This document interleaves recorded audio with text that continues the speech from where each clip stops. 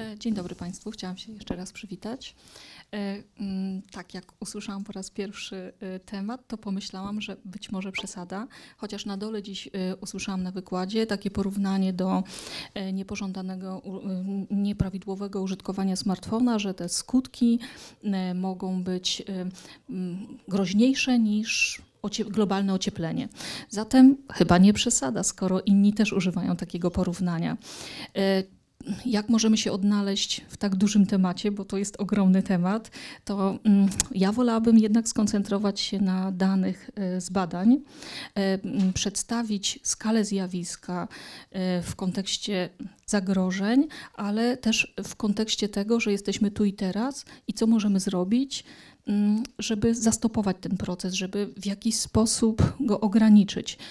Czyli przedstawić dane z raportu, dane z badań, i zastanowić się wspólnie, e, czy są jakieś sposoby, e, czy może należy wypracować nowe sposoby, bo te istniejące do tej pory e, nie działają.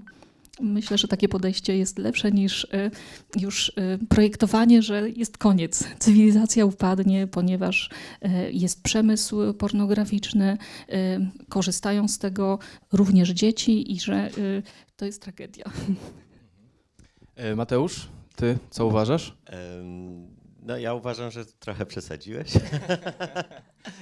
e, zagrożenie dla cywilizacji, no to dosyć grube stwierdzenie. No pytanie, jak definiujemy zagrożenie, jak definiujemy cywilizację też. E, rzeczywiście no, takie głosy są podnoszone też w różnych stanach, w Stanach Zjednoczonych, w różnych krajach. E, natomiast no, pornografia była z nami w różnej formie od bardzo długiego czasu. Znajdujemy jakieś przedstawienia pornograficzne już, nie wiem, na 2000 nawet lat przed naszą erą. Um, oczywiście no, nigdy nie była dostępna na taką skalę jak teraz i tak łatwo dostępna. Bo pytanie dla, było cyberpornografia, a nie o pornografię. Dla, dla, dla dzieci.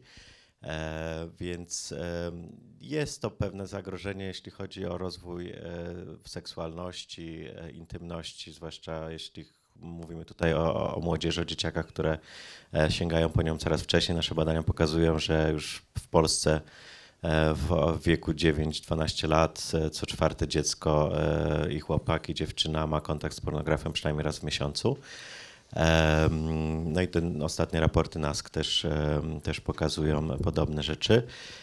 Natomiast wiemy też, podobnie jak z innego rodzaju używkami, jak z alkoholem, który też można zapytać alkohol, zagrożenie dla cywilizacji, E, no, w momencie, kiedy one są łatwo dostępne i szeroko dostępne, też widzimy, że e, nie każdy korzysta z tego w sposób problemowy. Co więcej, mniejszość korzysta w sposób problemowy. I tutaj, jeśli chodzi o pornografię, e, na ten moment dane, które mamy, pokazują, że około 11% mężczyzn i 3% kobiet twierdzi, że ma problemy z pornografią. E, natomiast w sposób taki nałogowy, e, no to prawdopodobnie to są jeszcze mniejsze odsetki, e, które korzystają z tego w sposób nałogowy, uzależniają się, podobnie jak z alkoholem. No, dostęp do alkoholu wśród pełnoletnich ma każdy w naszym kraju. Mamy około jeden punkt sprzedaży alkoholu na niecałe 2000 mieszkańców w Polsce, więc ta dostępność jest olbrzymia. E, natomiast w sposób problemowy pije około 9% mężczyzn, e, w sposób taki nałogowy, uzależnienie pełnoobjawowe, no to jest około 2-3% e, mężczyzn w skali globalnej. No i z pornografią widzimy, że też te odsetki gdzieś tam się wysycają, że w pewnym momencie jest tak, że no nie każdy jest w stanie się uzależnić, trzeba mieć po prostu pewnego rodzaju predyspozycje psychologiczne, biologiczne, genetyczne, środowiskowe do tego. A czy to nie jest tak, że 11% rozumiem z całej populacji, to to tak. jest ogromny problem?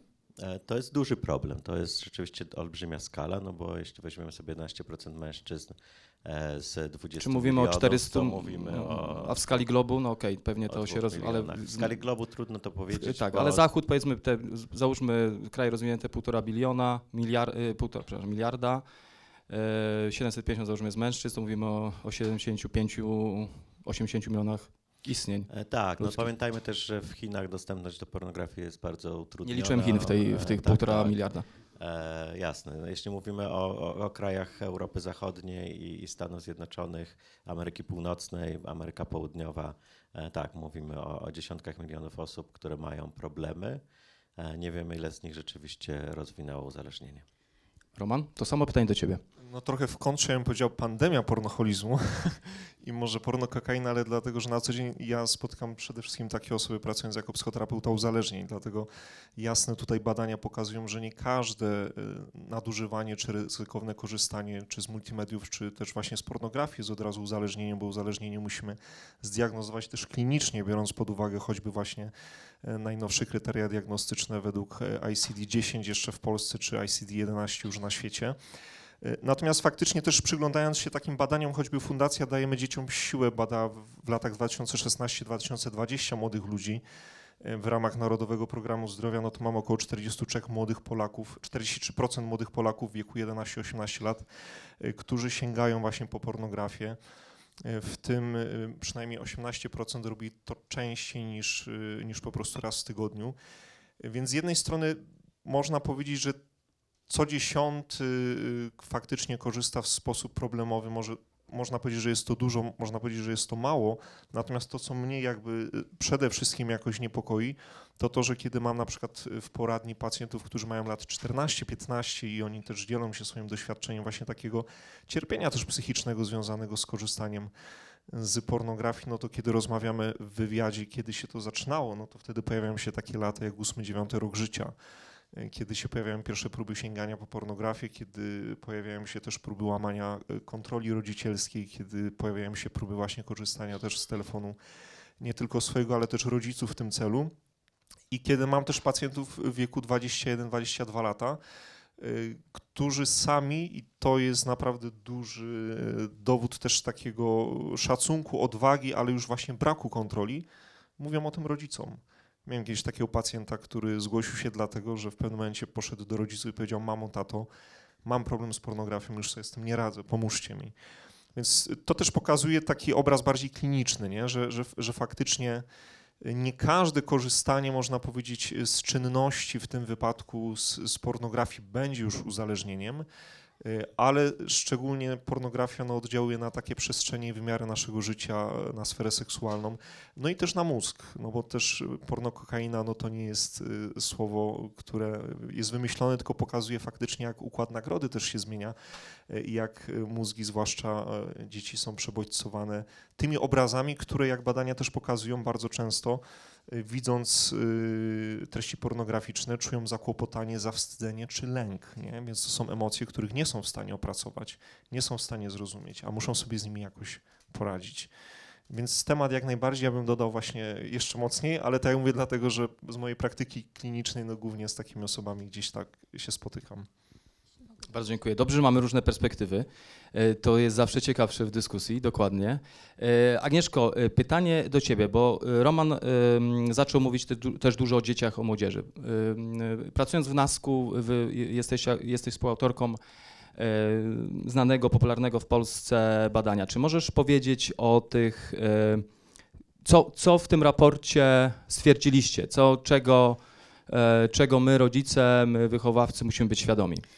E, Właśnie podnosząc rękę, e, chciałam dodać do tych wypowiedzi, że e, jeśli mówimy o tych statystykach dotyczących oglądania pornografii i tego, że nie zawsze dostęp do jakichś używek musi oznaczać uzależnienie, no to chyba rzecz inaczej ma się, tak wynika z danych naszego raportu, kiedy oglądanie tego rodzaju treści dotyczy dzieci. Mówimy to o 10, 12, 14, 16 latków.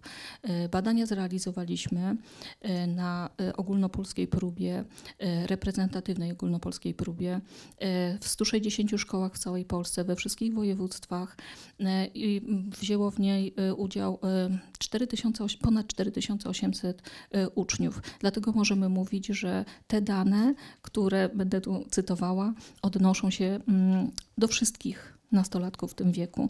E, I jeśli mówimy, że nie, wszyst- nie, nie zawsze oglądanie e, treści o charakterze pornograficznym prowadzi do uzależnienia, to co powiemy o młodych ludziach na tym etapie rozwoju, którzy twierdzą, że jest to zjawisko mm, nieukrywane, obserwowalne, że ich rówieśnicy, e, tak twierdzą 12-14-latki, e, 13% cz- 12-14-latków twierdzi, że ich rówieśnicy oglądają takie treści kilka razy dziennie. Czy możemy mówić, że niekoniecznie jest to zagrożenie, e, kilka razy dziennie i to są takie seanse do 5 minut. Jeśli w przypadku 16-latków ten odsetek wzrasta kilka razy dziennie, już mówi e, 16% 16-latków, e, przy czym ten czas oglądania, ekspozycja na te treści mm, zwiększa się od 6 do 15 minut. E, jak pytaliśmy e, e, raz dziennie, gdybyśmy połączyli odpowiedzi raz dziennie z tym przynajmniej raz dziennie, to ten odsetek wzrasta i mówilibyśmy wtedy, że co piąty 12-14-latek deklarujący, że ogląda takie treści, robi to przynajmniej raz dziennie, a co czwarty 16-latek. Zatem e, jest, są to dane porażające i to są takie pierwsze dane, które możemy skonfrontować teraz z tym, że weszlibyśmy do klasy e, 13-latków, bo średnia inicjacji ogląda- dostępu do takich treści stale się obniża. I e, kiedy pytamy 16-latków, oni mówią, że to jest 12 lat, kiedy pytamy mm, 12-14-latków, jest to 11 lat, ale co piąty zapytany, który deklaruje, że miał dostęp do takich treści, mówi, że to było mniej jak 10 lat. I to się łączy z tym raportem, który wcześniej realizowaliśmy na temat zachowań nastolatków w internecie, kiedy pytaliśmy, kiedy dzieciaki otrzymują pierwszy smartfon do ręki. E, Dzieci otrzymują pierwszy smartfon do ręki właśnie mniej więcej w tym wieku, czyli e, dzieci samodzielnie korzystają z internetu mm, około siódmego roku życia i wcześniej, ale pod opieką rodziców z ich telefonu. Mm, Z innego badania, którego jeszcze nie opublikowaliśmy, z innego e, badań, e, z danych z tego raportu, wynika, że strategia wychowania cyfrowego polega na tym, że dopóki dzieci korzystają z telefonu rodziców, to rodzice jeszcze monitorują, kontrolują, starają się kontrolować, ale potem, kiedy dostają już e, smartfon do ręki, własny smartfon, Wtedy rodzice polegają na mm, zaufaniu, e, wtedy rodzice po, polegają na pogadankach. Chociaż inne dane z naszego raportu wskazują, że 60% rodziców nigdy nie wyartykułowało tego, że oglądanie pornografii jest czymś złym, że nie chcą, żeby dzieci oglądały pornografię. Najzwyczajniej boją się wypowiedzieć tego słowa przy dzieciach i 70% trzynastolatków, jak wejdziemy do takiej klasy, 75% tych trzynastolatków miało doświadczenia z oglądaniem takim treści, takich treści. Rodzice bali się wyartykułować tego słowa. I to był taki problem, kiedy rozpoczynaliśmy realizowanie badania. Mówiono nam, że nie, jak wy możecie pytać dwunastolatki o takie rzeczy? Przecież y, wy rozbudzicie ich ciekawość. Wy y, spowodujecie, że oni zaczną y, eksplorować internet pod tym kątem. A jak wejdziemy do klasy dwunastolatków, to połowa z nich ma już swoje doświadczenia. Dokładnie. I jeszcze co jest ważne, z tego, jeśli te dzieci e, kiedy miały pierwszy kontakt z pornografią, to najczęściej był to kontakt nieintencjonalny, czyli jeśli to były przed dziesiątym rokiem życia, to przypadkowy, e, mechanizm przypadkowego powiązywania e, treści. I wyobraźmy sobie rodzica, który daje siedmiolatkowi telefon, swój telefon do użytkowania i to dziecko natrafia na takie treści. Dzieci teraz są bardzo sprawne technologicznie. Rodzice myślą, że monitorują to, co dziecko robi, bo dziecko siedzi obok, a mm, ewentualnie sprawdzą historię wyszukiwania. No ale w, jak- w czym problem? Można skasować historię wyszukiwania, ale rodzice myślą, nie moje dziecko, to jest niemożliwe. Mhm. Także to jest No, taka jedna z najpoważniejszych Tak, rzeczy. No, znaczy, no ja też mogę do tego dodać e, dane też e, z tych raportów e, takich dużych projektów e, ogólnoeuropejskich, na przykład Kids Online, e, gdzie też e, dziesiątki tysięcy dzieciaków w różnych krajach e, by, były z nim prowadzone wywiady.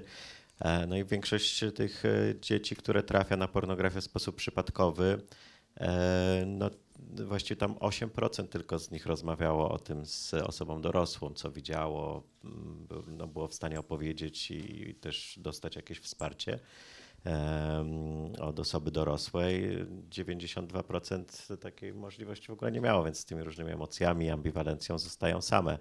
Też te badania, które my prowadziliśmy na danych takich zbieranych podłużnie przez 14 lat w Polsce, e, e, na próbach reprezentatywnych też e, tam były dzieci i dorośli, no to pokazują, że ten wzrost odsetka osób wchodzących na strony pornograficzne właściwie na przestrzeni 14 ostatnich lat następował głównie w grupie dzieci, co jest związane właśnie z łatwiejszym dostępem do e, tabletów, później smartfonów w ostatnich latach i tak dalej.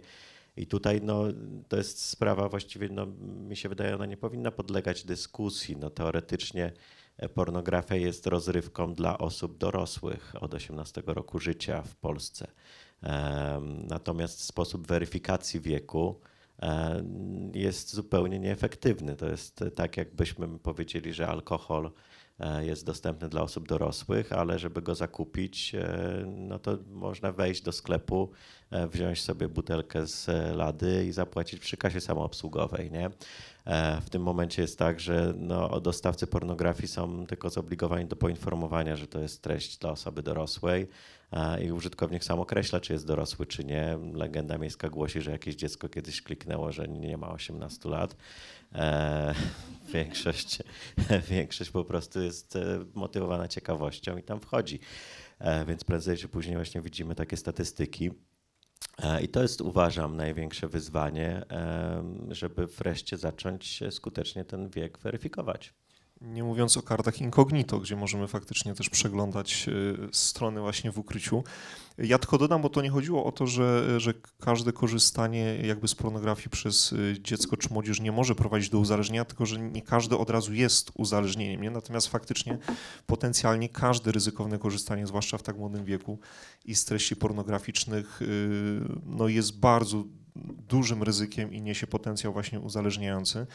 Ja bym jeszcze dodał, że, że to również obserwuję, bo to jest bardzo ciekawa rzecz. Y, My prowadziliśmy kiedyś badania dotyczące depresji i w ogóle poczucia sensu życia u młodzieży, zachowań y, autoagresywnych. Niedawno, parę miesięcy temu w Krakowie, y, 140 szkół i też się pojawiały takie pytania, ale czy warto pytać dzieci o depresję, o myśli samobójcze, o zachowania autodestrukcyjne, czy to czasem ich nie zaciekawi tym tematem? A z drugiej strony no, mamy osoby, które faktycznie już trafiają w o wiele młodszym wieku już z tymi problemami. Więc to, co możemy zrobić, myślę, to trochę też przełamać temat tabu i, i mówić o tym, że, że faktycznie jakby no pornografia jest problemem, że trzeba też y, o tym rozmawiać, nie? że nie ma co się bać tego tematu w badaniach i w rozmowach z nastolatkami, bo czasami też tak mam, że pacjenci, którzy przychodzą z innymi problemami, przy okazji wychodzi, że oni na przykład właśnie pięć razy dziennie, codziennie oglądają materiały o treściach pornograficznych. Raz nawet miałem na grupie dla osób dorosłych takich pacjentów, y, gdzie jeden właśnie y, przyszedł jako uzależniony od marihuany. Po paru miesiącach powiedział, wiecie co, tak naprawdę moim głównym problemem to jest pornografia. Więc jeżeli osoba dorosła już na grupie terapeutycznej potrzebuje dwóch miesięcy, żeby się przełamać i do terapeuty powiedzieć o tym, że ma z tym problem, to co dopiero nastolatek, y, nie tylko wobec rodziców czy wobec nauczycieli, ale nawet w gabinecie terapeutycznym. Widać, że to jest jeszcze temat wstydliwy, y, a z drugiej strony właśnie doświadczenie ich jest takie, że o wiele częściej już są po inicjacji i po tym oglądaniu już pornografii y, i często no, to jest jakby problem, nie? że zostają z tym sami i z takim poczuciem właśnie wstydu, trochę niezrozumienia, trochę niewiedzy, co z tym zrobić, a z drugiej strony, no już wiadomo, to działa na ich mózg, uruchamia układ nagrody i już gdzieś y, ta dopamina się wyzwala, prawda? Myślę, że bardzo ważne tu też jest ujęcie wszystkich kontekstów, e, w jakich dzieci, dzieciom teraz przyszło funkcjonować, czyli ten kontekst e, tej rewolucji e, cyfrowej, takiej, która umożliwia im dotarcie do takich treści na taką skalę, do, do jakiej wcześniej nie było to możliwe. W tym kontekście też rodzice, którzy mają mniejsze kompetencje zazwyczaj niż ich dzieci do tego, żeby im zapewnić to bezpieczeństwo, bo jednak dalej rodzice to rodzice są odpowiedzialni tak naprawdę za bezpieczeństwo dzieci. Tej odpowiedzialności no, trudno zdjąć z rodziców, ale mm, właśnie realizowaliśmy takie badania dotyczące y, narzędzi, ko, y, nie mówię kontroli, to jest złe powiedzenie, e, narzędzi ochrony rodzicielskiej i okazuje się, że mm, rodzice mają bardzo poważny problem, ponieważ e, mają takie, taką świadomość, że ich dzieci są bardziej rozwinięte technologicznie, e, dostępne narzędzia nie są na tyle ergonomiczne, na tyle łatwe do użytkowania, żeby dały się zaimplementować w taki sposób nieproblematyczny. E, w rodzinach zazwyczaj takimi liderami technologii cyfrowych są mężczyźni, ale to kobiety są odpowiedzialne za bezpieczeństwo dzieci, co robi kolejne e, rodzi kolejne problemy, e, chociażby takie, że e, po prostu rodzice wycofują się z tej funkcji opiekuńczej, abdykują, myślą, że skoro inni tak robią i nic złego się nie działo, wcześniej istniały też takie zagrożenia, różne między innymi pornografia, ale chodzi przecież o różne zagrożenia w internecie, to y, nic się nie stało, może teraz się nic nie stanie. Widzą, y, że nie mają wsparcia w tym zakresie, więc to jest ten kolejny kontekst y, rodziny. No i presja rówieśnicza. To jest też taki bardzo ważny kontekst, że e, tak jak mówiłam wcześniej, z badań wynika, że jest to zjawisko nieukrywane, obserwowalne. Dlatego one mogą wskazać, że ich rówieśnicy tak często oglądają takie treści. Mm, No i też obserwowalne wśród rówieśników, ale też obserwowalne, ta, ta łatwa dostępność, ale obserwowalne w internecie jako y, pochwalane. Tylko y, co y, niewielu z nich, mniejszość uważa, że oglądanie pornografii jest czymś złym, bo nie powiedzieli im tego rodzice, widzą to dookoła siebie, widzą, że influencerzy, tiktokerzy pochwalają w taki sposób, dzielą się treściami tym autoerotycznymi i tak dalej i to powoduje wręcz taką modę i społeczne przyzwolenie na to, żeby ten problem y, rozwijał się w taki sposób, jak się rozwija. Tak, no też te odsetki osób, które mówią, że pierwszy raz kontakt z pornografią miały właśnie dzięki s- starszym kolegom, czy rówieśnikom, czy starszemu rodzeństwu, e, też są dosyć wysokie.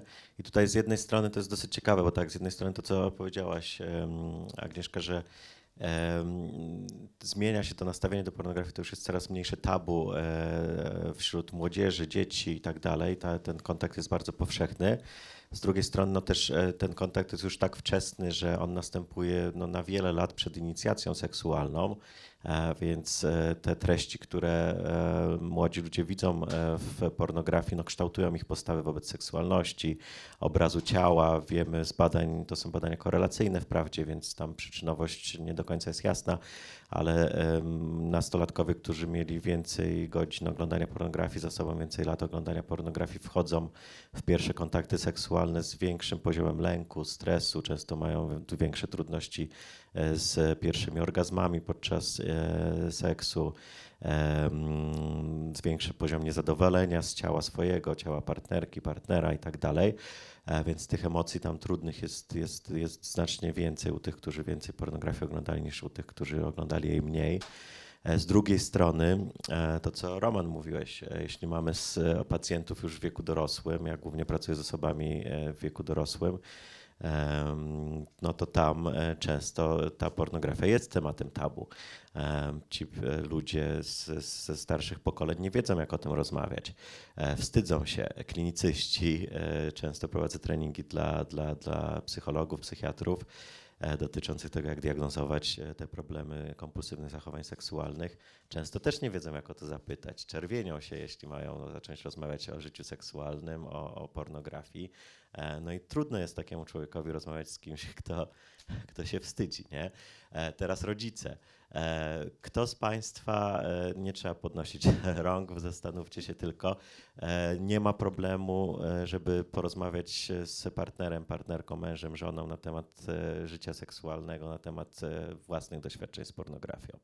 E, Statystycznie wiemy, że na tej sali no, e, połowa mężczyzn oglądała porno w ciągu ostatniego miesiąca i jedna trzecia kobiet też oglądała w ciągu ostatniego miesiąca, więc e, to są, tak wyglądają statystyki.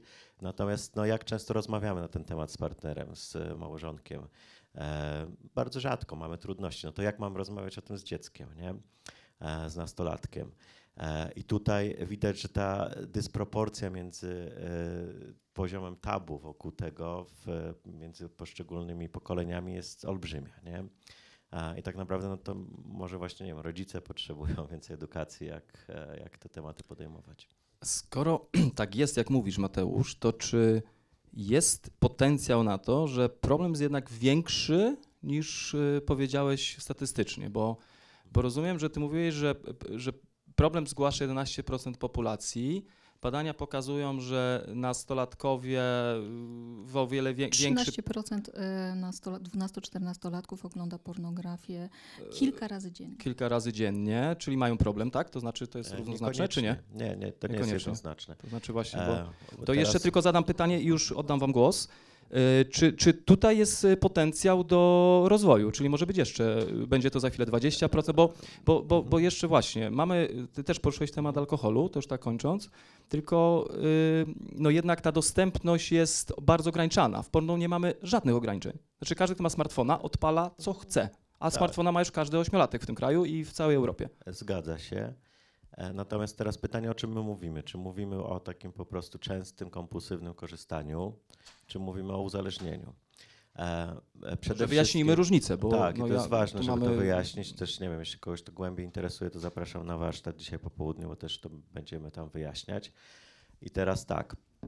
Wiemy z badań, i tych badań już mamy dużo, i mamy badania podłużne, więc to są zależności przyczynowo-skutkowe, że częstotliwość korzystania nie oznacza problematyczności. E, nie jest powiązana.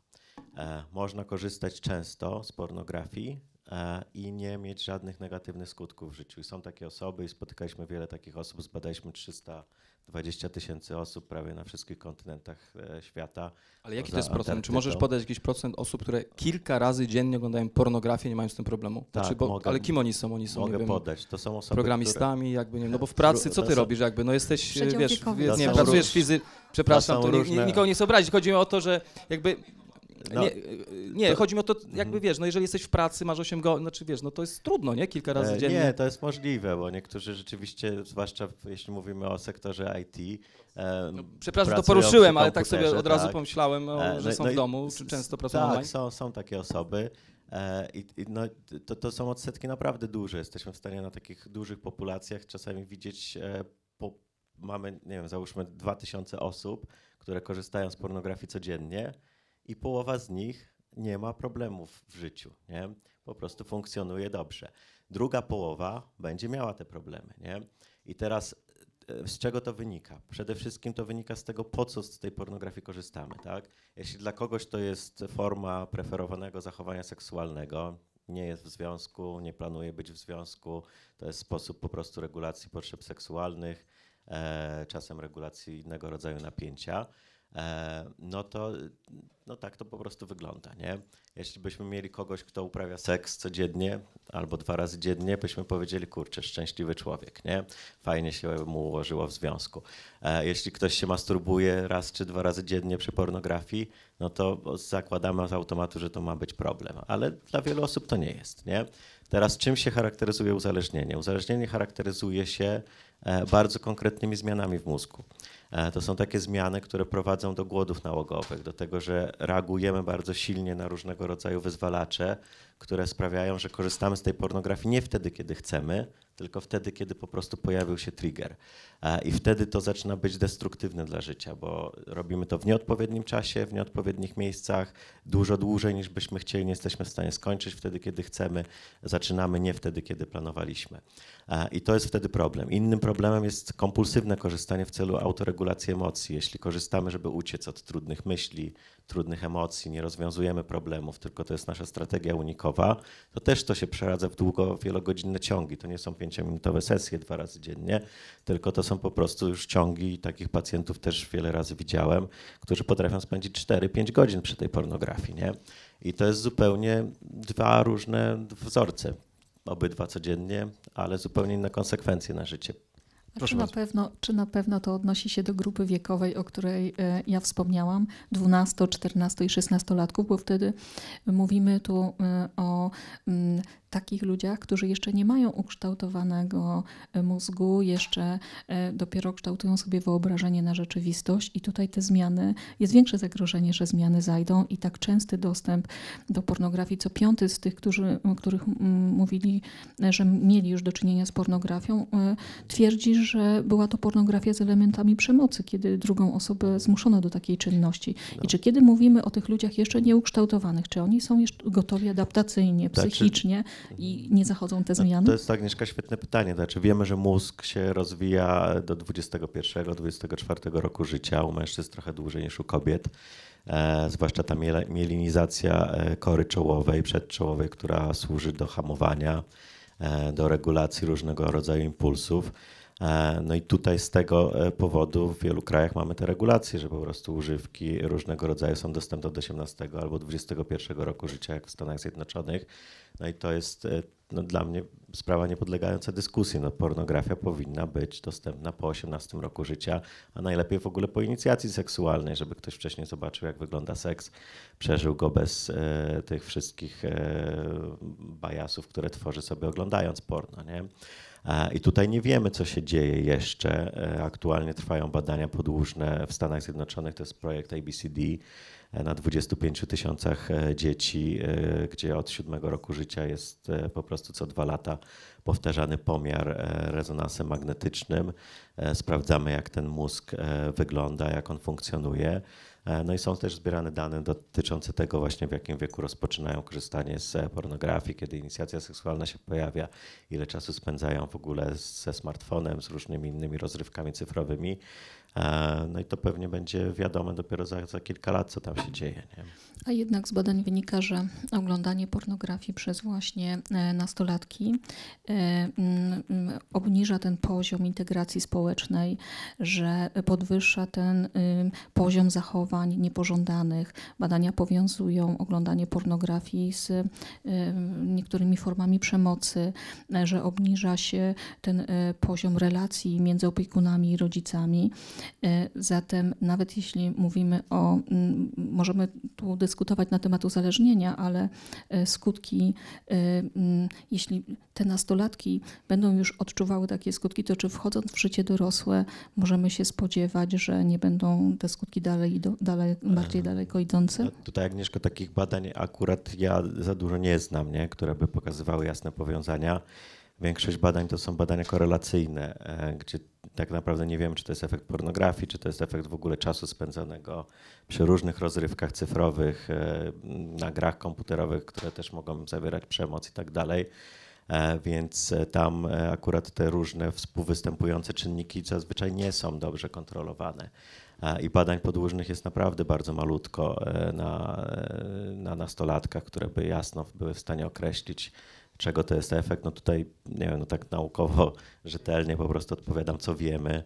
E, Nie, nie chcę tutaj wysnuwać e, po prostu jakoś za daleko idących wniosków, jeśli nie mamy rzeczywiście mocnych, mocnych dowodów. Znaczy ja bym dodał, że faktycznie ta wiedza często w, w tych badaniach no jednak jest jakoś deklaratywna, prawda? I myślę, że my nie, nie możemy, no to mu- musiały być faktycznie badania longitudinalne, eksperymentalne, gdybyś, gdzie moglibyśmy faktycznie zbadać to, jak to zjawisko wygląda. Często ta wiedza jest deklaratywna, a nawet w badaniach też mieliśmy takie doświadczenie anonimowych, ankietowych. Nie zawsze y, wychodzi jakby prawda, bo, bo kiedy badaliśmy cho- choćby pod kątem właśnie oglądania materiałów o treściach erotycznych, młodych ludzi w 2015 roku i później były na tej samej grupie prowadzone badania jakościowe i wywiady, no to się okazało, że jest dysproporcja pomiędzy tym, jak oni deklarują, kiedy, kiedy gdzieś tam faktycznie, prawda, nawet są w, y, w anonimowo w jakiejś ankiecie, a jakie później się gdzieś tam problemy y, pojawiały, kiedy, kiedy o dziwo się też dzielili różnymi właśnie trudnościami, gdzie wstydzili się na przykład nawet zaznaczyć z obawy, że nawet zaznaczenie tego, że oglądam materiały o treściach pornograficznych już jest jakoś naznaczone. Natomiast ja bym jeszcze y, w ogóle zapytał, czy, czy faktycznie pornografia jest nam potrzebna, nie? bo o ile w uzależnieniach behawioralnych no mamy takie, które faktycznie no, są niezbędne dla naszego życia, choćby zakupy czy internet, nie? więc zakupoholizm czy, czy też takie nałogowe korzystanie z internetu, no to wiadomo, że tutaj trudno sobie wyobrazić, że ktoś już do końca życia nigdy na przykład nie będzie korzystał z tych dwóch y, form zachowania behawioralnego.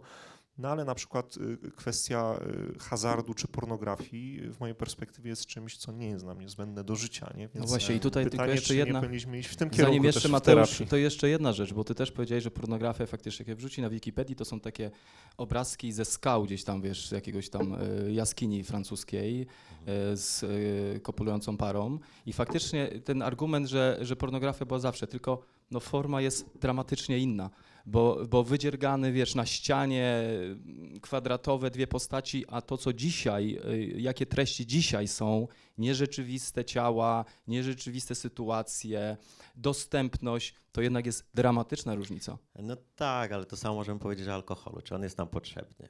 Ale alkohol miał tyle samo procent 200 Nie lat miał, temu. Miał, e, No, Bimber miał tyle sam 90% procent, co ma dzisiaj.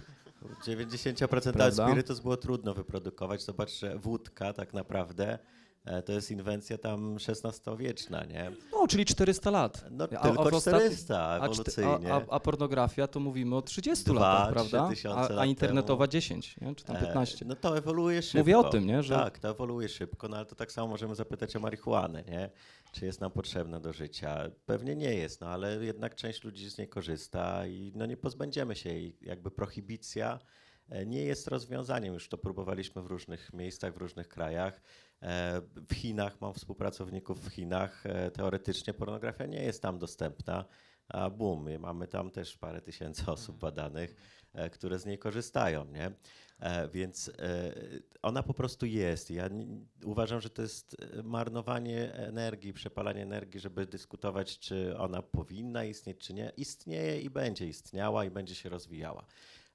Najważniejsze jest to, żebyśmy po prostu zadbali o skuteczną weryfikację dostępu do pornografii, weryfikację wieku, żeby ona była dla osób dorosłych, które wiedzą, czym jest seks, które wiedzą, że to jest bajka dla dorosłych. Jeśli chcą, to niech sobie korzystają, jeśli nie chcą, to niech nie korzystają.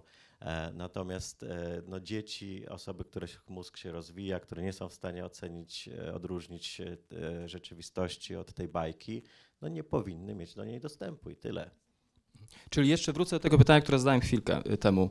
Czyli we, czy według Was jest tu potencjał rozwojowy, tak? Czy to będzie, będzie więcej osób korzystało mm, za 20 lat, za 10? Jeżeli się nic nie zmieni, to co powiedział Mateusz, tak? Że oczywiście jest kwestia mm, weryfikacji wieku i, i, i pewnej regulacji.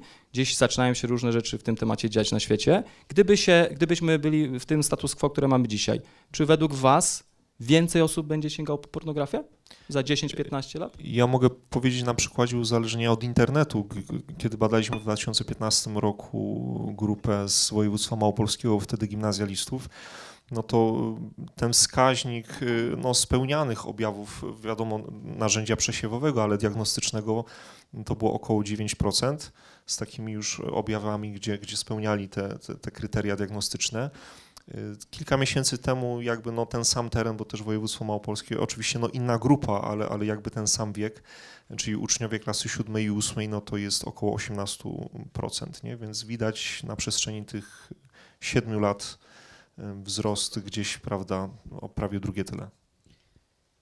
E, Ja chciałabym może się odnieść do tego, że mm, nie wiem, czy to tak jest, że y, możemy pominąć y, te, te skutki społeczne, te, te koszty społeczne, jakie y, ponoszą ludzie korzystając z pornografii, bo w Stanach jednak są badania i są dane, które wskazują na to, że niemal połowa rodzin zgłasza, że ma problemy, które są związane z nadmiernym oglądaniem pornografii bądź dostępem do pornografii przez któregoś z partnerów, że jeśli chodzi o rozwody, to ponad połowę tych rozwodów jest powiązana w jakiś sposób z oglądaniem pornografii zbyt częstym, nieakceptowalnym przez drugiego współmałżonka, bądź też przez to, że e, jeden z partnerów, czy partnerka, czy partner poznały osoby właśnie w taki sposób przez internet i mają e, e, takie spotkania.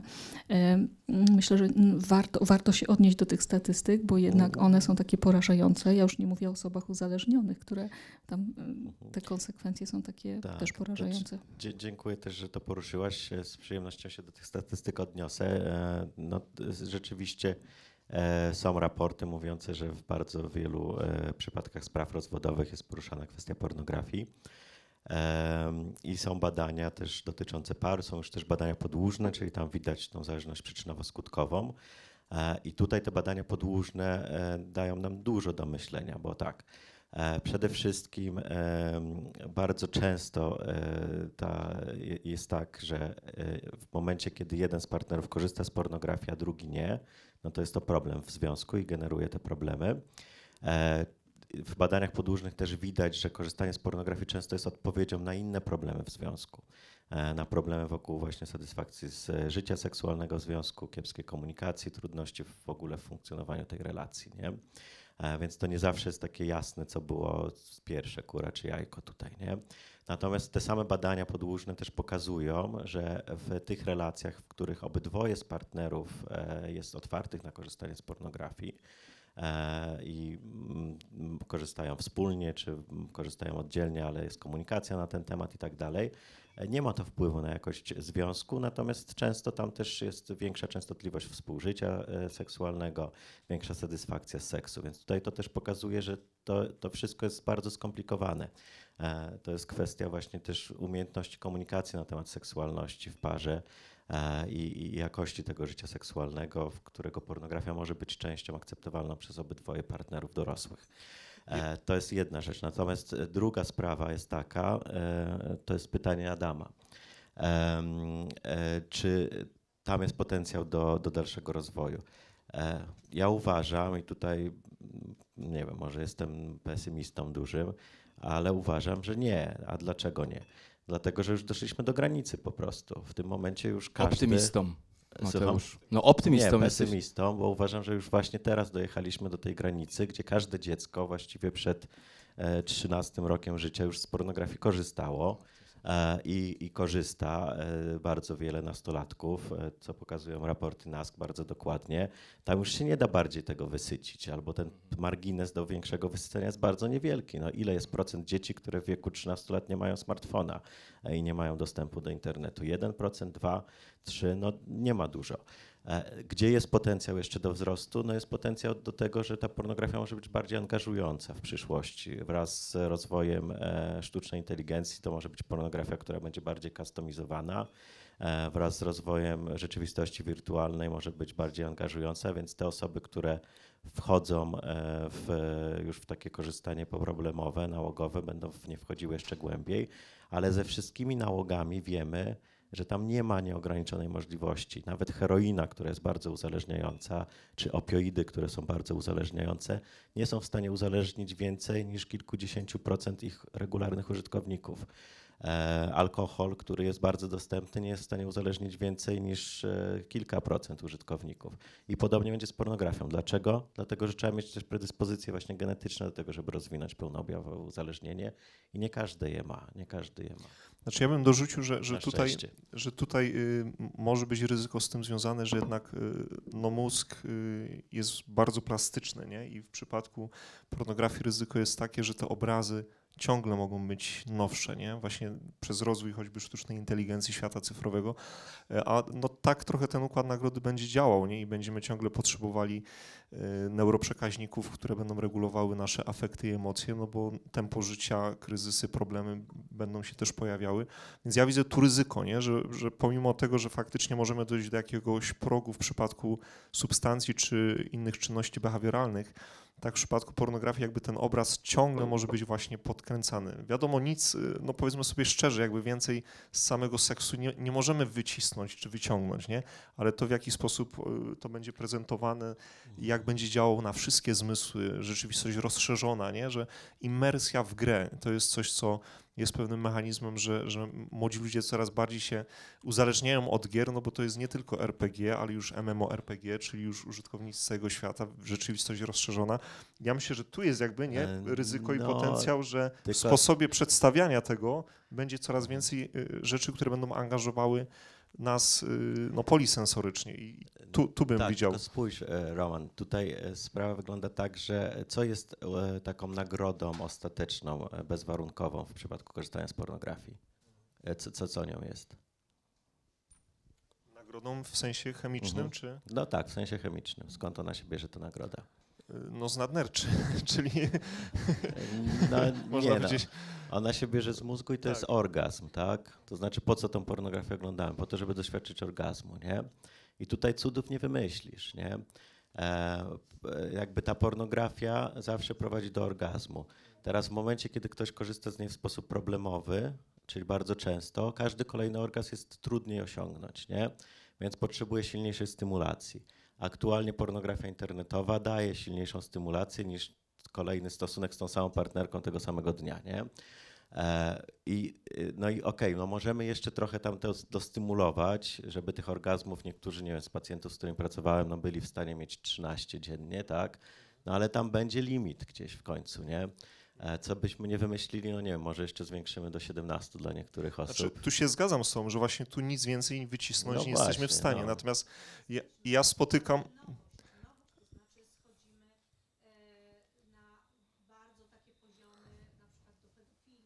Mhm. Chciałam później jeszcze właśnie dodać Tak, tak. tej kwestii. Tylko ja bym jeszcze dokończył, bo jakby spotykam pacjentów, którzy mówią, że ich już orgazm nie interesuje, ale oni spędzają kilkanaście godzin właśnie przeglądając karty, nie mając y, na przykład odpalone 20 kart i co się dzieje? Dzieje się mechanizm, który się rozwija często w psychozie, nie? czyli pacjent, który mówi tak, mam otwartych 20 kart, piszę z dziewczyną na Instagramie i dodatkowo szukam na jakiejś aplikacji randkowej kogoś i ja sobie to wszystko nakładam w jedną historię.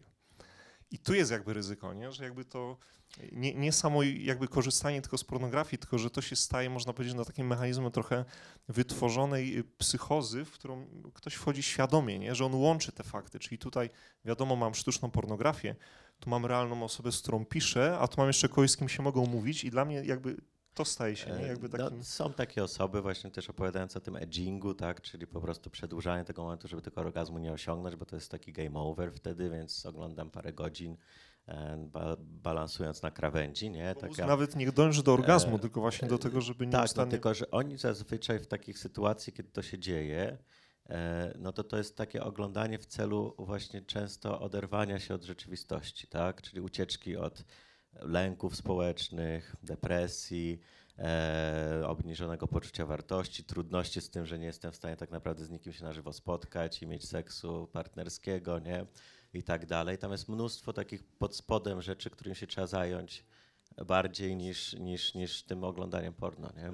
I dlatego ja się zgadzam, że jakby no, dochodzimy do pewnego, no wiadomo, szczytu, nie? Orgazm z jakimś y, y, finałem, ale dla mózgu jakby nie samo to jest już, y, można powiedzieć, takie atrakcyjne, tylko to, że się ciągle pojawia ta nowość bodźców, nie? Że coś, co nas absorbuje, co jest właśnie ciągle inne, nie? I ciągle bardziej atrakcyjne i coraz bardziej może być podkręcane. Jeszcze tylko jedna rzecz y, pod kątem właśnie tego, jakie to może mieć konsekwencje. Konsekwencje takie, że właśnie ci nastolatkowie, ja myślę, że to jest też problem, że jeżeli się wysyciliśmy w tej grupie nastolatków już po inicjacji, no to za chwilę będziemy właśnie się spotkali też z konsekwencjami już tego, nie? I, i coraz częściej pojawiają się młodzi mężczyźni, y, którzy zakładają e, rodziny i, i, i którzy mówią i przychodzą, że mają problem z tym, żeby w ogóle rozpocząć y, jakby powiedzmy w- współżycie, nie? Że, że tu jest jedna rzecz, dwa, pacjenci dorośli, którzy też mówią o tym, y, że faktycznie byli świadkiem, jak oglądając porno, ich syn albo córka weszli nie, do pokoju i nawet widzieli, że nagle gdzieś zobaczyli, że, że dziecko się zatrzymało i to jest też ryzyko, nie? że jeżeli nawet mówimy o tym, że ona jest jakoś dostępna czy legalna dla osób pełnoletnich, to nawet jak ktoś dorosły nie, y, powiedzmy, nie poniesie konsekwencji uzależnienia, to system może ponieść, nie? choćby przez to, że, że dziecko czy, czy właśnie osoba, która, która będzie narażona właśnie na, na, na konsekwencje. Nie? Ja chciałabym tylko e, powiedzieć z takiego bardziej ogólnego poziomu, bo to, co mówicie, oczywiście jest e, bardzo ciekawe, bardzo interesujące i to jest metapoziom. Natomiast ja chciałam z takiego ogólnego poziomu powiedzieć, że uważam, że jest e, przestrzeń do, i niebezpieczeństwo na rozwój. Dlaczego? Dlatego, że jeśli mówimy o rozwoju, o przyszłości, to mówimy o tym pokoleniu właśnie, które już rozpoczyna tak wcześnie i mówimy z drugiej strony o biznesie, że e, to jest porno biznes. Jeśli biznes, to biznes musi się opłacać, musi się rozwijać, znajduje stale nowe sposoby, sposoby angażowania e, odbiorcy. E, a jeśli dodamy te, te dane, które mówią o tym, że najczęściej właśnie to pokolenie, które będzie przyszłością, ma taki przypadkowy pierwszy kontakt inicjujący, e, jest to właśnie powiązy- przypadkowe powiązywanie treści, więc widzimy, że ten biznes się rozwija w każdą stronę. Chcę dodać takie dane, które pochodzą z raportów dyżurnetu. E, Dyżurnet to jest e, jednostka, m, która działa w ramach NASK-u, monitoruje, zapobiega rozpowszechnianiu nielegalnych treści pornograficznych z udziałem dzieci i oni właśnie alarmują, że to jest już większość treści, która jest rozpowszechniana teraz w internecie, jest produkowana przez same dzieci. Same dzieci produkują takie treści. Pytaliśmy też te dzieci w tym raporcie, ale NASK realizował wcześniej e, też raporty na ten temat, badania i e, tworzył raporty, publikował na ten temat i okazuje się, że dzieci podobnie jak z pornografią nie widzą nic złego w tym, że inni rówieśnicy e, tworzą takie treści autoseksualne, e, które pokazują ich w takich intymnych sytuacjach e, i mówią też, że co dziesiąty właśnie dwunasto, podobnie jak w przypadku pornografii, co dziesiąty dwunasto, czternastolatek, że jego rówieśnicy robią to często lub bardzo często. Dotyczy to już co piątego szesnastolatka, czyli sami wytwarzają, czyli jest to jakaś nowa forma i to jest to zagrożenie, bo jak oni mówią, dlaczego to robią, to poza tym, że robią to podobnie jak w przypadku pornografii, bo widzą, że ich rówieśnicy to robią, że nie jest to nic złego, ale mówią też, że y, żeby sprawić drugiej osobie przyjemność, ale mówią też, y, że względy finansowe biorą pod uwagę, czyli dzieci produkują treści o takim charakterze i mają y, na względzie y, finanse. Y, Zatem y, jest to zagrożenie, jest tu przestrzeń. To, to jest Ja myślę- cie- ciekawy, ciekawy aspekt. No Tak, jeszcze seks- może dwa słowa, bo obie- obiecałem tutaj audytorium też, żeby mogli zadać pytania. E, No, no właśnie to, co poruszyłaś Agnieszka, czyli ten sexting, tak? gdzie to dzieci wytwarzają. E, No to jest coś, czego na pewno nie, sobie nie poradzimy z tym, robiąc kontrolę dostępu do treści, nie? E, Więc to też jest pytanie, co, jakie tutaj są pomysły, żeby, e, że- żeby temu zapobiegać, poza nie wiem, edukacją, mm, uświadamianiem, jakie to może mieć efekty negatywne, jeśli to się dostanie do internetu i tak dalej. To, no to, to jest duże pytanie. Nie?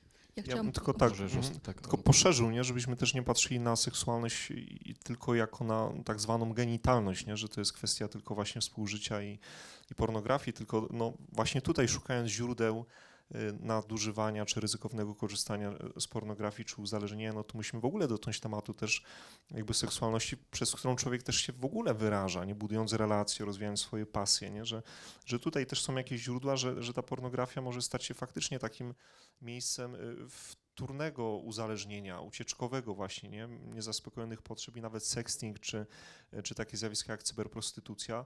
Często za tym kryje się właśnie lęk, zaniżone poczucie własnej wartości, poczucie odrzucenia, czy nawet teraz rozwijające się zjawisko autoagresji w sieci, nie? gdzie y, nastolatkowie sami hejtują swoje konta i profile po to, żeby właśnie z jednej strony dać upust troszkę, y, można powiedzieć, no to taka autoagresja w sieci, a z drugiej strony mówią, sprawdzam, czy ktoś zareaguje, czy ktoś mnie obroni przed samym sobą, nie? że ja zakładam wirtualne konto i atakuję na przykład siebie, e, rzucając swoje zdjęcia z innych kont, je hejtuję i mówię, że po prostu, no co to w ogóle za, za osoba, jak ona wygląda.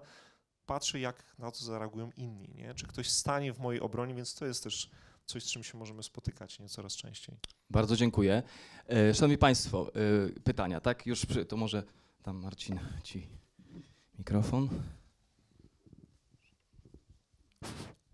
Dzień dobry, Marcin Kawka, Szkoła Główna Handlowa w Warszawie. E, Chciałbym tak króciutko tylko e, podnieść jeszcze raz trochę bardziej praktyczny wymiar tego tematu i powiedzmy uderzyć delikatnie w media i w biznes.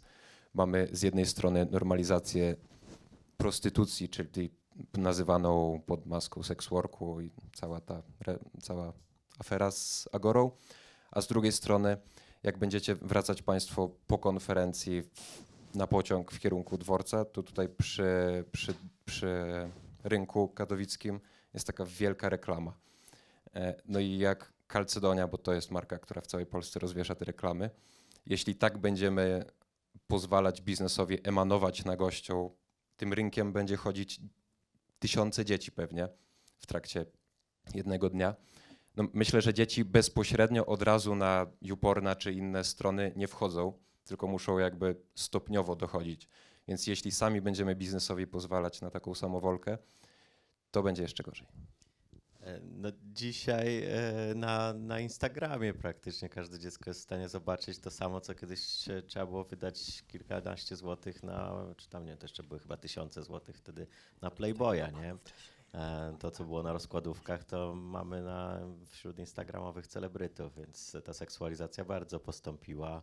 W strze- w przestrzeni publicznej chyba w Polsce w ogóle nastąpiły jakieś pozytywne zmiany, bo chyba kiedyś było gorzej, nie? E, Chociaż nie wiem, jak to teraz wygląda. Ta, dawno nie oglądałem. A ja reklam. chciałam tylko powiedzieć, że e, a propos właśnie e, seksualizacji każdej przestrzeni, że wyobraźmy sobie, że moje pokolenie wymieniało się pocztówkami, znaczkami, em, wymieniało się jakimiś, nie wiem, gumkami kolorowymi. y, czasem handlowało, bo każdy chciał mieć jakąś nową, ciekawą rzecz, a teraz dzieciaki wymieniają się między sobą e, e, erotycznymi, autoerotycznymi treściami. Y, Zobaczmy, jaka to jest różnica, w jaki No, sp- kierunku to poszło. Ja bym powiedział nawet nie seksualizacja, ale erotyzacja tej przestrzeni społecznej. I ja mogę no znów z perspektywy takiej terapeutycznej pacjentów, którzy nadużywają e, czy są uzależnieni e, od zachowań seksualnych i, i w tym to się objawia też właśnie e, kompulsywnym korzystaniem z pornografii, że dla nich to są konkretne wyzwalacze. Nie? Oni często mówią, proszę pana, ja nie mogę spokojnie przejść przez miasto, nie? bo każda reklama, każdy billboard, y, już w taki sposób nawet reklamy batonów jedzenia, przecież państwo sami to dobrze widzą, są w taki sposób konstruowane, żeby jednak działać na tą sferę seksualną w nas, no bo to się staje jakoś od razu bardziej podkręcone, atrakcyjne i, i tu jest ryzyko, nie? że dla niektórych to może być konkretny trigger, wyzwalacz do, do kompulsywnego zachowania, y, a dla innych to może być właśnie coś, co tworzy właśnie taki obraz, nie? że bez takiej erotyzacji czy seksualizacji, no to jakby no, nie ma normalnej relacji i tu jest niebezpieczeństwo. Witam, Bartosz Wojcieszak. Ja chciałem spytać, czy z jednej strony nie można odnieść wrażenia, że ta seksualizacja jest robiona celowo, bo yy, wyleciało mi teraz z głowy, który, yy, który polityk ze Stanów Zjednoczonych yy, właśnie mówił, że odnośnie rozbudzenia seksualizacji, żeby łatwiej było kontrolować społeczeństwo. I tak jak w starożytnym Rzymie mieliśmy panem et circenses z chleba i igrzysk, czyli czy to nie jest właśnie, żeby też odwracać uwagę od rzeczywistych problemów i kontrolować ludzi i i jak czy ojcem tego nie można w pewien sposób powiązać tego z Alfredem Kinseyem, jego raportem odnośnie seksualizacji, gdzie y, dopiero prace krytyczne były kilka lat po tym raporcie i się okazało, że współpracował y, całe pojęcie seksualizacji y, odnośnie dzieci. Przypomnijmy, że ONZ też promuje, że seksualizacja zaczyna się od chwili poczęcia, a Kinsey pracował z pedofilami, czyli jego raport był stronniczy. Czyli nie można go też obarczyć jakby winą. Co prawda chyba już nie żyje, ale za, tej, za tą seksualizację. Dziękuję. My, my, myśl, myślę, że nie.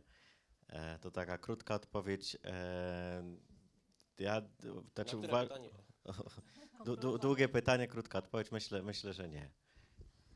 Znaczy, Proszę bardzo. y, Znaczy ja bym jeszcze powiedział, że faktycznie no, m- może to być też taka y, siła jak siła reklamy każdej, prawda?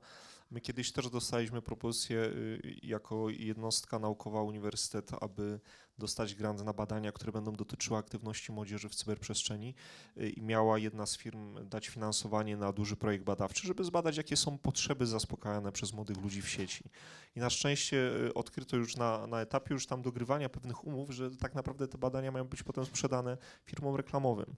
Czyli uczelnia miałaby zrobić badania, żeby tak naprawdę później e, określić konkretne targety emocjonalne dla, dla firm, które mogłyby to wykorzystać, więc nie było tych badań na szczęście, ale no coś takiego się dzieje, nie? że te badania mogą być, tak mówię, finansowane, zamawiane, żeby potem wiedzieć, w co uderzyć, nie? w jakie struny poruszyć, no bo skoro taka jest największa potrzeba, no to my w tym produkcie pokażemy, że ten produkt tą potrzebę właśnie zaspokoi. Nie? To są zazwyczaj zjawiska oddolne, które idą raczej od biznesu, od e, chęci e, po prostu tak, zwiększania zysków i tak dalej, niż, niż coś, co jest centralnie kontrolowane, czy jakiś spisek tam na górze gdzieś. Bardzo dziękuję. Może tutaj pan zada pytanie, y, potem bym prosił tak panią tam, y, y, potem pani, y, y, Michale, ty i, i, i, i ta pani na, i, i będziemy kończyć. Bardzo dziękuję. To, no i tak jeszcze chyba pięć osób, więc Dzień dobry. Proszę bardzo. E, Bartłomiej Setlik, Siódme Liceum Ogólnokształcące w Katowicach.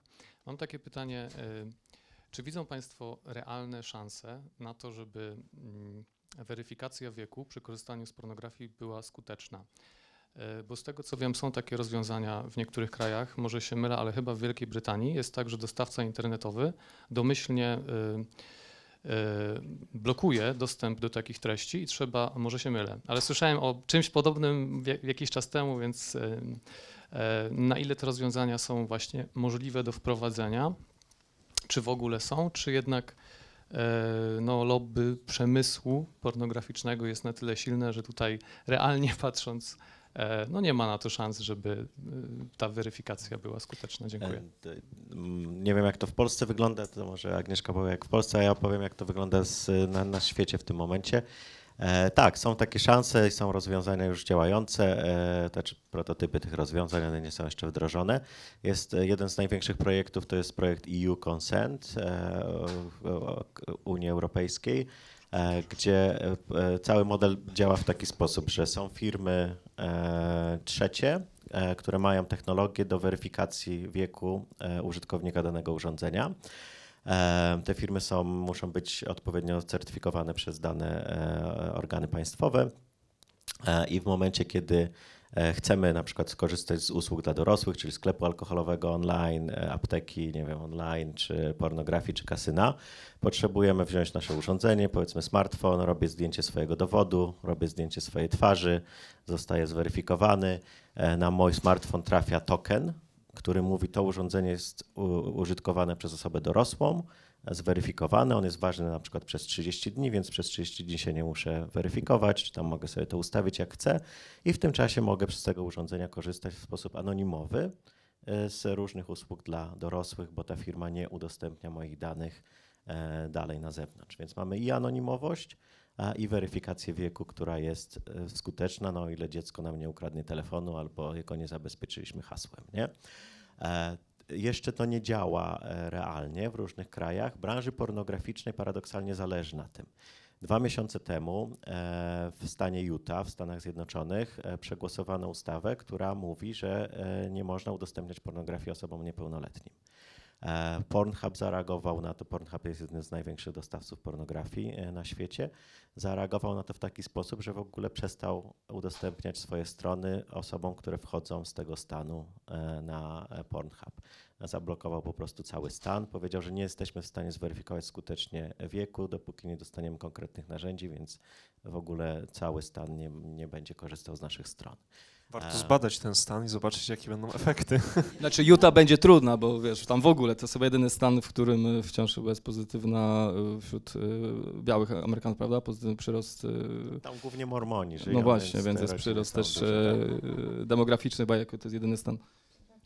Nie wiem, jak to wygląda w Polsce teraz. Może Agnieszka Ja w wie. Polsce nie znam takich rozwiązań, ale jeśli chodzi o rozwiązania cyfrowe, to jeśli pojawią się w jednym kraju, to e, w krótkim terminie są implementowane w następnym, jeśli okażą się skuteczne. Bardzo dziękujemy. To Proszę bardzo, y, tu pytanie pani. E, Dzień dobry, Grażyna Lubszczyk z tej strony. E, Ja się przedstawię, bo jestem członkiem takiego stowarzyszenia Nauczyciele dla Wolności. E, I my tutaj zajmujemy się też seksualizacją i w związku z tym blokujemy treści deprawacyjne. E, Ja mam pierwsze pytanie, czy w polskim prawie jest definicja pornografii? I tutaj nawiązując do pytania mojego poprzednika, w jaki sposób realnie możemy wpływać i do kogo zwracać się o pomoc, bo wysłaliśmy już kilkadziesiąt pis- pism do różnych ministerstw tutaj y, w Polsce, różnych organizacji i tak naprawdę jest przerzucanie się taką odpowiedzialnością. Jeżeli na przykład jest jakaś fundacja edukacyjna, która, y, którą patrona, nie patronatem, tylko na- nad, nadzoruje ją powiedzmy ministerstwo i ta fundacja zamieszcza filmy, treści na YouTubie, które powinny być zabezpieczone, bo jest taka informacja, one się wszystkie samoczynnie otwierają, a są to takie treści niedostosowane.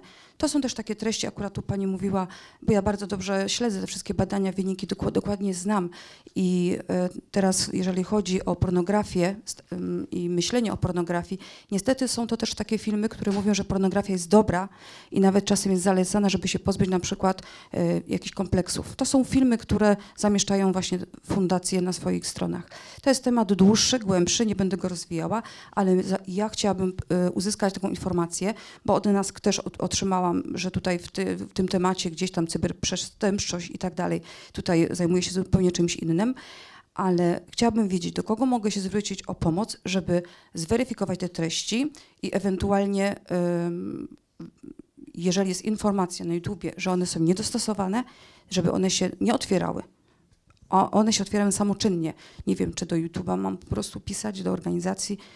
I tak jesteśmy w tym temacie bezradni, bo do pewnego momentu żeśmy tutaj em, uzyskali pomoc od Rzecznika e, Praw Dziecka, tutaj pana ministra Czarnka, który zablokował pewne treści, które niestety przez przekierowanie, przez pewne linki umieszczane na niektórych stronach, już nie będę podawała nazw, e, doprowadzały dzieci, takie dziesięcioletnie, do treści naprawdę e, takich, które nigdy nie powinny oglądać. Dziękuję. Bardzo dziękuję. E, Znaczy, ja nie wiem, jak to wygląda teraz, bo nie śledziłem zmian prawnych w Polsce przez tam ostatnie 4 lata. E, Natomiast w 2019 roku, jak się ostatnio interesowałem, to są ustawy, które definiują e, tam, tr- czym są treści lubieżne i tak dalej.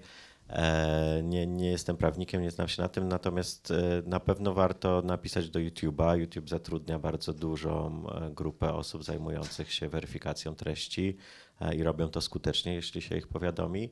E, No i też e, wiem, że bardzo dobre efekty miało Stowarzyszenie Twoja Sprawa w w walce kiedyś z tym, żeby mm, w kioskach e, na wystawie nie, nie eksponowano magazynów pornograficznych czy reklamy właśnie, które były już takie naprawdę, nie wiem, zawierające No, po- nagości i tak dalej. To się bardzo poprawiło w Polsce, prawda? No, pamiętam, że kilkanaście lat temu na każdej stacji benzynowej bardzo były się treści. No i w otwarte. dużej mierze to było po prostu działania prawników z tego stowarzyszenia, którzy dokładnie te ustawy znają i byli w stanie wyegzekwować e, ich działanie, więc polecam. Bardzo dziękujemy. Proszę bardzo. E, Anna Tarasiuk, pedagog specjalny i terapeuta. E, I ja tutaj w zupełności się zgadzam, że pornografia jest zagrożeniem cywilizacyjnym, które postępuje w szalonym tempie. A sfera seksualna e, u dziecka jest najbardziej delikatną sferą, e, którą e, najłatwiej zranić i to w sposób trwały, kalecząc w ten sposób dalszy rozwój dziecka. I cieszę się, że jest ten panel na taki temat. Zgadzam się z moimi przedmówcami w, tych wypowiedziach. Brakuje mi takich systemowych rozwiązań, jak och- ochronić e, właśnie dzieci przed e, tymi treściami.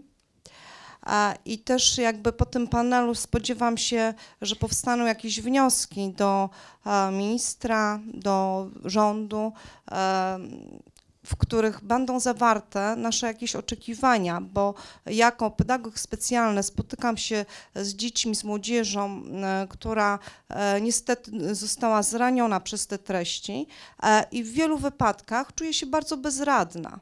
Brakuje mi wsparcia właśnie odgórnego w formie różnych właśnie ustaw, czy nawet takich narzędzi prawnych, e, którymi można by było ochronić dzieci e, przed treściami pornograficznymi, które uważam, że w każdym wymiarze są szkodliwe i dla dzieci, a również dla dorosłych, dla osób dorosłych, które sięgają po takie treści, bo skoro sięgają po takie treści, to nie potrafią budować relacji takich realnych z innymi osobami, bo szukają sobie em, zaspokojenia swoich niezaspokojonych e, potrzeb właśnie w taki sposób. Więc po tym panelu też się e, jakby spodziewam, że e, będą jakieś wnioski płynące z tego spotkania, że to nie będzie taki pusty czas przygadany i e, po prostu rozjedziemy się do swoich miejsc i nic z tego nie będzie wynikało. Dziękuję bardzo.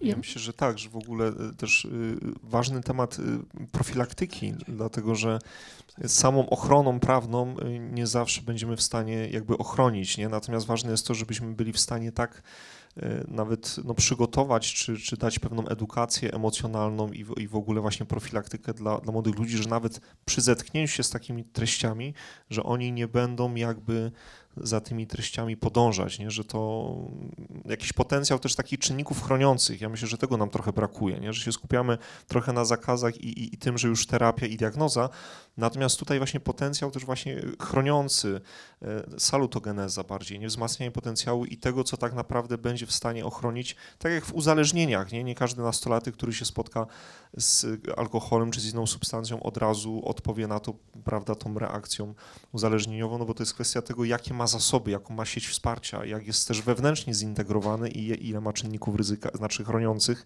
więc myślę, że tu też jest ważne, żeby o tej profilaktyce właśnie pornografii wśród dzieci i młodzieży też mówić i ją jakoś tutaj wzmacniać. Ja rozumiem, że ta wypowiedź to jest wniosek o wnioskowanie i, i o działanie, bo y, jest to też y, podsumowanie tego, co mówiliśmy wcześniej, że no, odpowiedzialność za bezpieczeństwo spoczywa na rodzicach, e, ale rodzice właśnie mają e, takie mm, problemy, y, że nie ma dostępnych narzędzi, które byłyby dla nich łatwe do zaadoptowania. E, mm, Ostatnio została wprowadzona ustawa, która zobowiązuje, mm, operatorów do tego, żeby proponowali żeby, e, bezpłatne rozwiązania, żeby mówili o tym, czyli jest to jakby pierwszy krok e, do tego, żeby reagować, żeby wspierać rodziców, ale e, również zgadzam się z tym, że mm, nie należy poprzestawać na narzekaniu i mówieniu jest tragicznie. Trzeba te rozwiązania tworzyć, wypracowywać. E, No, ja bym dodał poza tymi rozwiązaniami technologicznymi właśnie też e, i profilaktyką, no to też mówiliśmy wcześniej o takich systemowych rozwiązaniach jak e, skuteczna kontrola wieku, ale też e, no, z tych wniosków podczas naszej rozmowy też wynika, że pewnie by się przydała edukacja seksualna dla rodziców i pedagogów, no bo jeśli dorośli nie wiedzą jak rozmawiać o porno między sobą, to jak mają rozmawiać o tym z dziećmi. E, Więc to jest jedna rzecz, która by się przydała. No i dla osób, które już pomagają tym, którzy się uzależnili, no to też jest potrzebne są programy szkoleniowe dla terapeutów. Y, Tu jeszcze pani, tak? Najpierw proszę bardzo. E, Elżbieta Nikiel. E, To ja właściwie chciałam się odnieść do tego, co już było przed chwileczką powiedziane. E, Pan Romek tutaj się odniósł do tej profilaktyki. E, I ja właściwie miałam na myśli to, że jest ogólnie, wiemy, że działa manipulacja, sztuczna inteligencja. E, Ogólnie kto pracuje w jakimś dziale biznesowym, sprzedażowym, handlowym, e, to dobrze wie, jak wpłynąć na klienta, żeby mu coś sprzedać. E, I jakby zastanawiam się tak, to wiadomo, że też działa jakby psychologia, prawda? I w jaki sposób, skoro my mamy też takie narzędzia, prawda? W jaki sposób możemy jakby odwrócić sytuację, czyli jakby nie tylko skupić się na zapobieganiu, ale skupić się właśnie na tym źródle, czyli właśnie poczuciu wartości, przynależności, bo często to jest poczucie jakiejś samotności, e, braku poczucia własnej wartości. E, no jakby dzieci uciekają w internet, bo po prostu nie mają relacji z rodzicami, którzy siedzą w telefonie, e, czy z równie, rówieśnikami, którzy e, tak samo też siedzą w telefonie. Więc jakby w taki sposób ja bym e, uderzyła, jakby mm, wiadomo, że duży jest ten problem, ale jakby od strony tej, jak, jak po prostu budować kroczek po kroczku i źródła. I jeszcze, jeszcze chwileczkę tylko odniosę się do, do operatorów. E, Jest taka funkcja ochrony internetu i e, wiem, że już takie coś weszło, więc można wypróbować. Dziękuję. Bardzo dziękuję. To może i, i prosiłbym o jedną odpowiedź. Jeszcze będą tutaj dwa pytania, to każdy z Was może odpowiedzieć. Dobrze? Jedna osoba, żeby odpowiedziała. Mogę odpowiedzieć. E, Z, z badań wiemy, że e, takim predyktorem tego, czy ktoś będzie korzystał problemowo z pornografii, czy nie, są następujące rzeczy. Poza bezpieczny styl przywiązania, e, czyli styl lękowy, unikający, ambiwalentny. Żeby z tym sobie poradzić, no to trzeba zbudować z dzieckiem dobrą więź od właściwie początku życia, od pierwszych dni. Nie? E, Trzeba wiedzieć, jak to robić. Nie? Następna rzecz e, to są e, występujące wśród opiekunów e, choroby psychiczne. Czyli jeśli ktoś ma problemy ze swoim zdrowiem, to będzie mu trudno taką więź zbudować, więc zadbanie o swoje zdrowie. Potem zaburzenia lękowe i zaburzenia nastroju u dziecka, e, unikowe strategie radzenia sobie z problemami. Trzeba dbać o to zdrowie dziecka psychiczne i rozwijać takie strategie, które są bardziej sposobami rozwiązywania problemów niż ich unikaniem. Więc to jest właściwie zdrowa relacja od początku. Nie? Ja bym dodał też taka y, pustka egzystencjalna, brak poczucia sensu, brak celu, wartości, nie? bo to gdzieś też jest ważne, a nasze badania pokazywały, że, że to też korelowało z uzależnieniem od internetu i depresyjnością.